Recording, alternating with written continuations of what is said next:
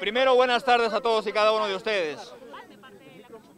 Para saludar al país, eh, hemos estado donde corresponde estar el día de hoy, una situación por parte de la Fiscalía durante cuatro horas en la cual nos hemos dado todo el tiempo y toda la predisposición para responder todas las preguntas.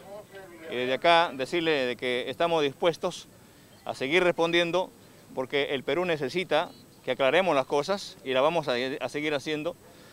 Y satisfecho, ¿no? Eh, de acá en horas de la tarde también tenemos una reunión con la finalidad de que las autoridades, incluido nuestro, el, fiscal de la Nación, eh, vamos a, a, ver cómo trabajamos en el marco de la reforma de justicia y por lo otro decirle de que vamos a seguir contribuyendo y acá estamos para dar la cara y lo, haremos siempre. Presidente, ¿cuál ha sido su posición frente a todas las preguntas, yo no voy a dar mayor detalle porque está en un proceso de investigación.